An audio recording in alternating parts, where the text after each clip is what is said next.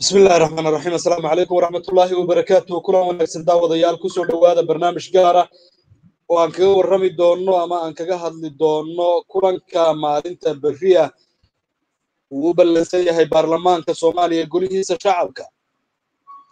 Toddobiyo labaatankii bishan ay caawa ugu dambayso ama aan idhaahdo xalay ay ugu dambaysay abril. Ayay ahayd markii madaxweynaha muddaxileedkiisu dhammaaday ee soomaaliya. Mudane maxamed cabdulaahi farmaajo.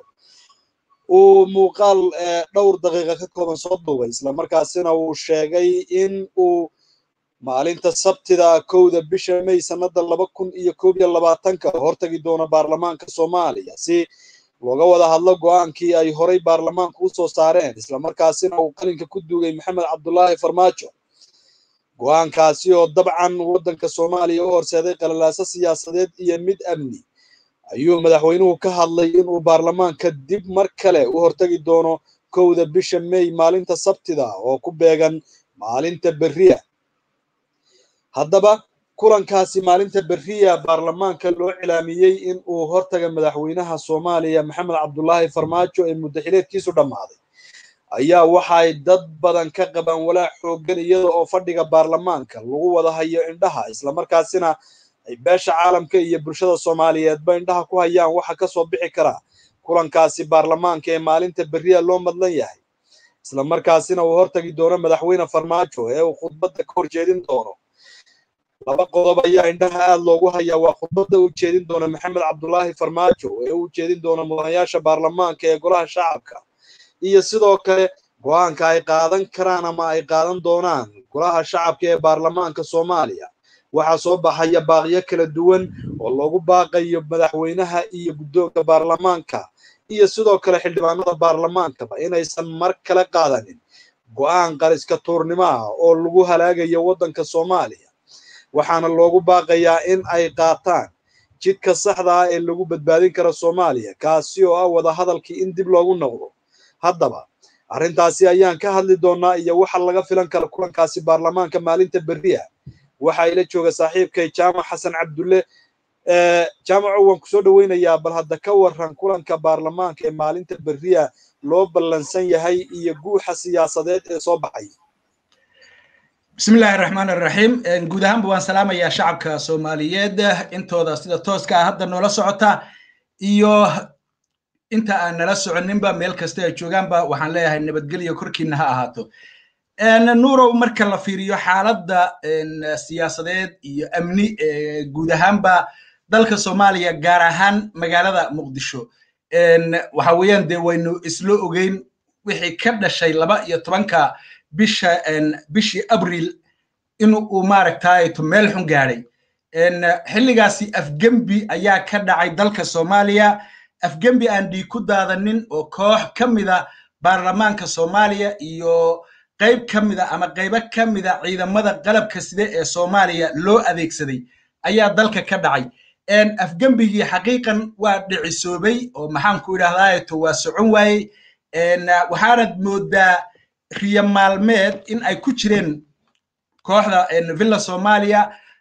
Haddii ay ahaan lahaayeen maxamed cabdulaahi farmaajo madaxweynihii waktigiisu dhammaaday ama madaxweynihii hore soomaaliya balse iska jooga villa soomaaliya iyo guddoomiyihii hore ee baarlamaanka soomaaliya iyo xubnihii la shaqaynayey waxa aan cad in ay iska dhaadhiciyeen wax khayaaliya riyo maalmeeda oo ay shacabka soomaaliyeed ku dayayeen in ay marsiiyaan tiina waa socon weyday wixii ka dhici lahaabaa ka dhacay wixii ka dhalan lahaabaa ka dhashay dhiig baa ku daatay dhaqaalaa ku burburay kumanaan qoys oo soomaaliyeed ayaa ku barakacay. Marka dee waynu wada aragnaa marka beenay waa run baa timid hadda oo xaqiiqdii baa maaragtayto iyada oo khadhaadh ay tahay in la dhadhamiyo.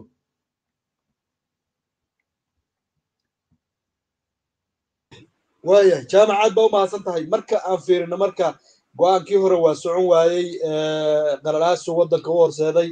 Dhibaatuu maaragtay ku noqday sida dad badan aaminsan yihiin. Go'aankaasi ay golaha shacabku qaateen ee habka gacantaagga ay ku muujiyeen islamarkaas in muddo laba sana ah loogu dara hay'adaha kala duwan ee dowladda.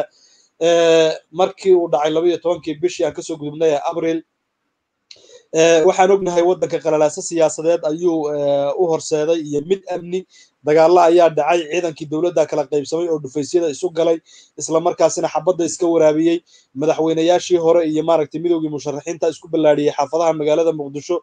Dad badan oo soomaaliyeed ayaa barakacay oo rasaastii la isweydaarsanayey si ay gabaad uga helaan guryahoodii ka cararay.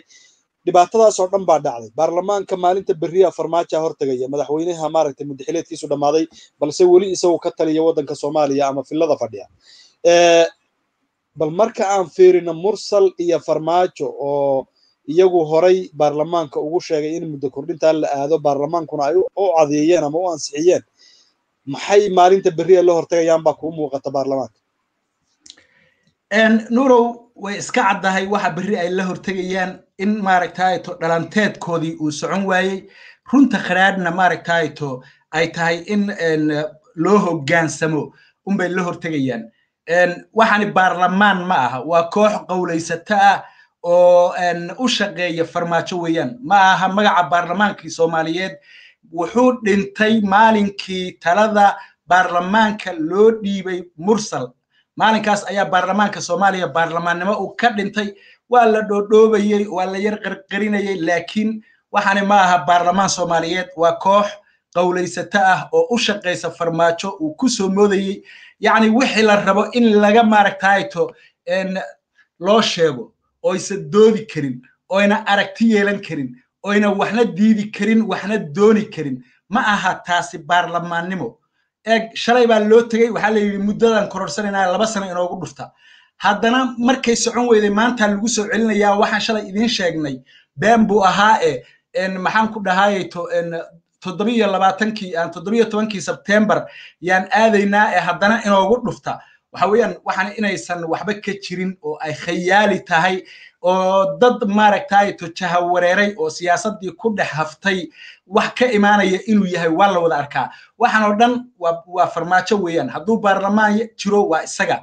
Hadday cidu wax sheeganayso waa isaga. Mursal waa isaga. Marka waxa loola tegayo kooxdaasi berri meesha lagu shirin doono waxa weeyaan waa keliya in la dhaho beentaan isu sheegnay way socon weyday ee haddana sidan aan yeello iyaguna sidii caadada ahayd ba gacantay taagi doonaan sababtoo ah doorasho kale male khayaar kale male aragti kale male aqli kale male ma fahmi karaan waxa ay ka codaynayaan iyo waxa ay u codaynayaan. Ma dareemi karaan culayska iyo miisaanka uu leeyahay wax baarlamaan ansixiyey. Eeg iyaga oo muddaxileedkii ka dhammaaday oo aan baarlamaan ahayn ee nin waliba kursiga in uu qofkii ku bedeli lahaa uu ku simo uu ku magacaaban yahay xaqna u leh inuu mushaarka qaato ayaa waxay leeyihiin masiir ummadeed baan ka doodaynaa masiir ummadeed baan meel marinaynaa waxaan qaadanaynaa go'aamo qof kasta oo soomaaliya taabanaya hadda ogow iyagu sharci ma aha oo waa ka dhammaaday muddaxileedkoodii kan ay u ansixinayaan wax isna waa ka dhammaaday muddaxileedkii marka koox wax lagu tilmaami karo haba yaraate eh ma jiraan. Waa dad un calooshooda la ciyaar un unbaan dhihi karnaa. Sababtoo ah qofku inuu fekero markuu masiir ummadeed ka hadlayo ama bulsho uu ka hadlayo kow horta waa inuu ogaado isagu wuxuu yahay. Meeqa sanaa lagu doortay. Toddoba iyo labaatankii disembar yaa xilkaagu ku ekaa eh go'aamadan aad qaadanayso maxay ku salaysan yihiin? Yaa ay dan oogu jirtaa. Awooddeed ma leedahay. Ma la diidi karaa. Hadday xitaa wax uun diidi lahaayeen oo ugu yaraan waxyaabaha loola imanaya qayb ka mida ay diidi lahaayeen dee waxbaa la dhihi lahaa. Laakiin waa maaragtay waa asalma doorshayaal waa kuraas kuraas ku fadhida uun. Dee kursi kursi ku fadhiya ama kursi dhagax dul saaran yahay culays mooyaane wax kale oo uu ku kordhinayo male kuwanna marka caqlina lagama sugayo aragtina lagama sugayo shalayna farmaaja ku yidhi sidaa yeela maantana farmaaja ku dhihi sidaa yeela waxaanse aad ooga xumahay oo boqolkiiba boqol aan ka xumahay in magicii baarlamaanka soomaaliyeed ay ku noqdeen masiibo iyo foolxumo iyo ceeb iyo sumcad darro weligood aan ka hadhi doonin. Sababtoo ah waxay wataan magaca baarlamaankii tobnaad ee soomaaliya ayay wataan.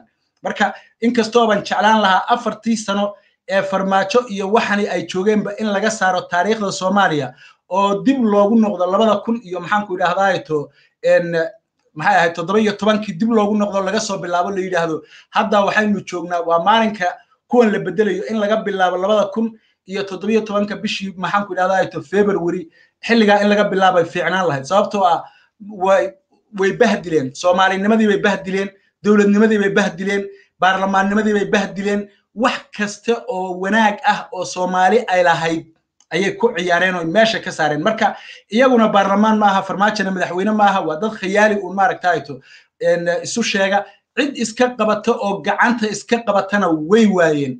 Marka taasaa horseeday in ay bahdilaan soomaalinimadii iyo dowladnimadeedii iyo jiritaankeediiba waaya marka aan fiirino marka maalinta beriya maalmihii dambe ee dagaaladu ay magaalada muqdisho ka dhacayeen waxaa jiray ama la arkaya xildhibaano ku goodinaya haddii madaxweyne farmaajo uu gorgortan ka galo go'aankii baarlamaanka ee laba iyo tobankii abril in iyagu ay impeachmenti ama mooshin ka keenayaan madaxweyne farmaajo xilkana ay ka qaadayaan siday hadalka u dhigeen. Ma laga yaabaa baarlamaankan marka mursal iyo farmaajo berri ay hor yimaadaan in ay iyagu noqdaan kuwa gaashaanka ku dhufta codsiga labadaa mas'uul islamarkaasina iyagu go'aan ama ha khadhaadhaada ama ha macaanaadee aysan saamayn farmaajo iyo mursal ku lahayn qaadan ka qaata haddii ay saa yeeli karaan waxbay ahaan lahayd. Marka waxa weeyaan maya wax ay qaadan karaan maaha. Kuwaxa aad ka hadlaysa iyo waxaan aad sheegayso ee ah waxbaan xil ka qaadaynaa magacooda haddii la weydiiyo xitaa ma yaqaanaan. Marka qof aan magaciisaba garanaynin iyo martabada uu joogo waxa weeyaan wuxuu sheega dee waa un anugu wax kaloon hadda ku sheega ma garanayo. Marka waa un shimbiraha ciyaahaya kama duwana marka wax ka soo qaad male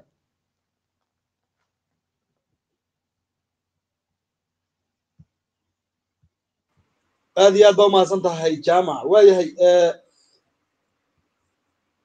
waxaan bal wax yar u geli doonaa safiirka waddankan kenya u qaabilsan soomaaliya safaaraddan soomaaliya ee kenya mas'uulka ka maxamed axmed nuur tarsan.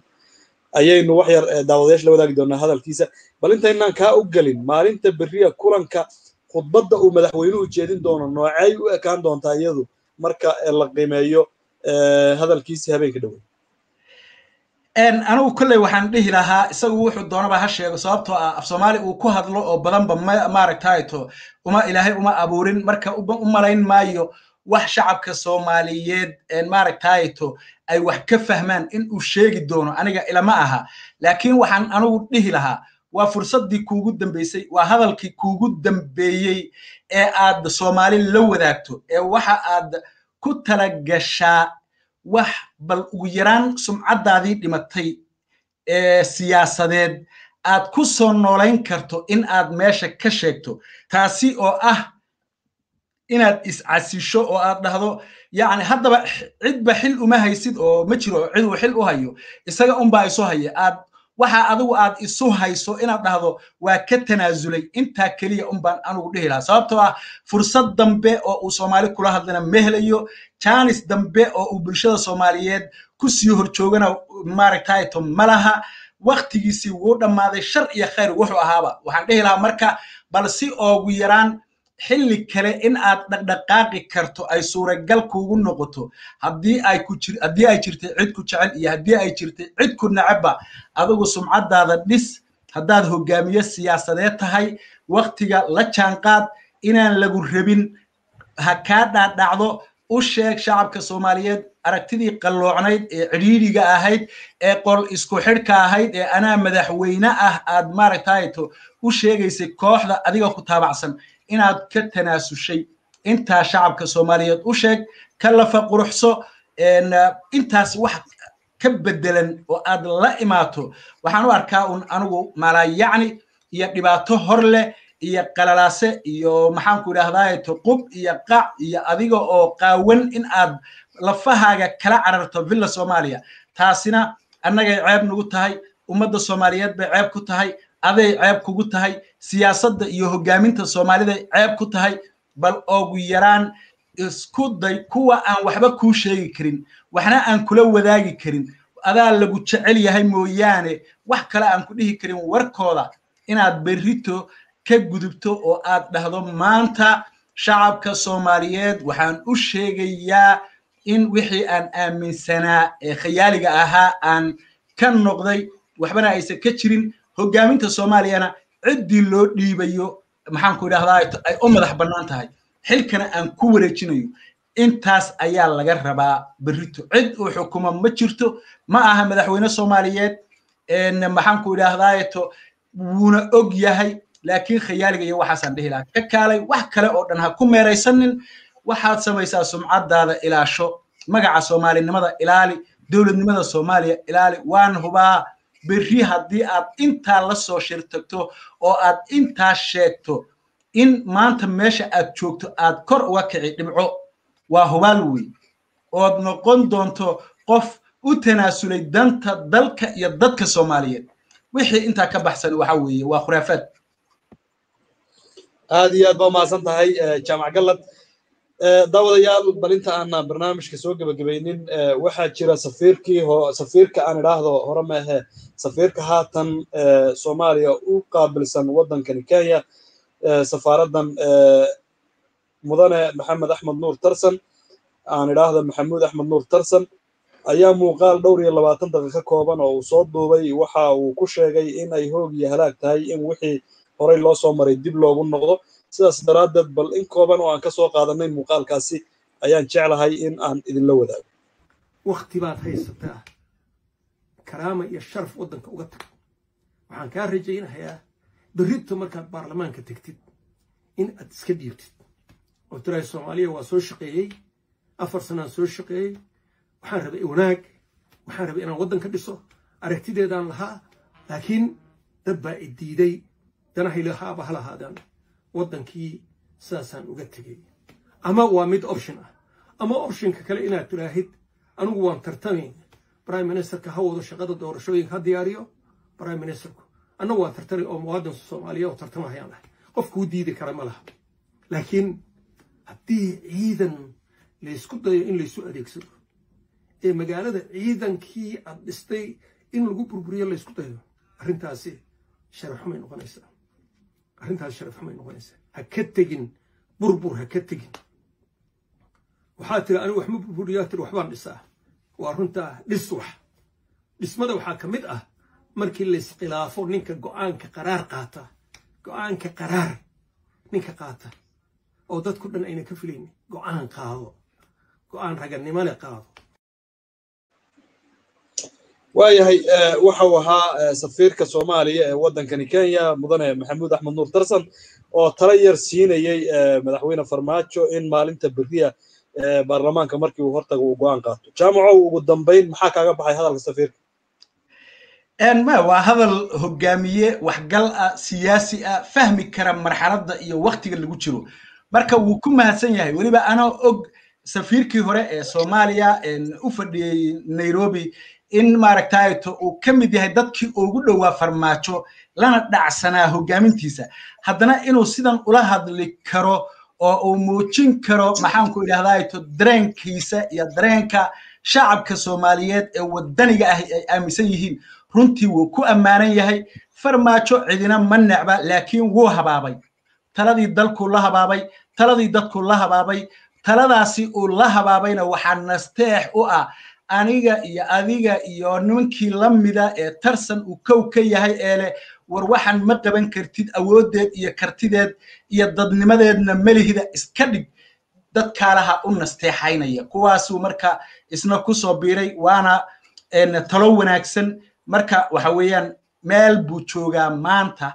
Uu shacabka soomaaliyeed sumcad kaga dhex tegi karo kaga dhex yeelan karo. Oo ugu yaraan uu noqon karo in la yidhaahdo madaxweynihii iscasilay in la yidhaahdo oogu yaraan. Intaasiba waa talo.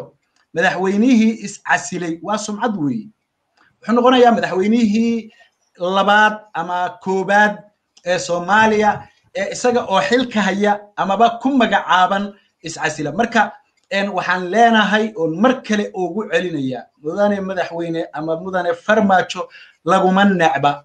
Soomaalida waad u soo shaqaysay. Intaad afar sanaad soo hortaagnayd shar iyo khayr waxaad leedahay waa lagu arkay. Dalkan iyo dadkan dadkii lahaabaa u jooga. Hoggaan bay leeyihiin siyaasiyiin bay leeyihiin. Haddaad iska dhaadhicisay markii lagu dhaho cid ku dhaanta ma jirto. Farmaajo wax dhaama la waa.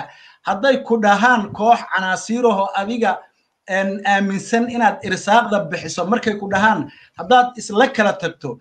Te maalinka dambe sidii samuel do madaxweynihii liberia ee sagaashankii isagoo miiska ku hoos jiro oo leh anaa madaxweynaha liberia ah unbaa laguu imaan oo lagaa soo jiidi taasna waa ceeb waa fadeexad waa gunnimo waa wax maaragtay bahdilaad ku ah yacni mas'uuliyadaada iyo shaksiyadaada iyo qarannimada soomaaliya iyo dowladnimadeeda. Ha noqonin marka madaxweyne la doortay baad ahay. Ma jirin sidii laguu taageeray muwaadin ama mas'uul soomaaliyeed taariikhda oo loo taageeray. Ma jiro. Kuwii xataa doorashada yacni galay allaha u naxariiste aadan cabdullahi cismaan iyo cabdirashiid cali sharme arkaba. Yacni kuwaasi oo ahaa dowladdii rayidka ahayd taageerada ay heleen iyo adigu midaad heshay boqolkiiba boqol adaa ka sarreeyey. Sidaa daraaddeed madaxweynihii la doortay ee dalkiisii dumiyey ee damcay dictator inuu haddana talada ku qabto waa kalsooni darro waa nasiib darro weeyaan. Marka adoo lagu doortay inaad hindisto dictatornimo hogaamiye kooxeednimo iyo wax kaste oo xun ood maalin ku sii ahaan karta madaxweynenimo waa wax aad iyo aad looga maaragtay xumaado oo looga maaragtay dhiidhiyo weeyaan.